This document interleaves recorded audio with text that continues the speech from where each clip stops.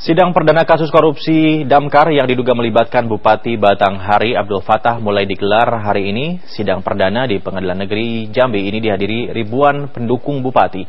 Bupati Batanghari didakwa telah merugikan negara sebesar 650 juta rupiah dalam kasus pengadaan kendaraan mobil pemadam kebakaran.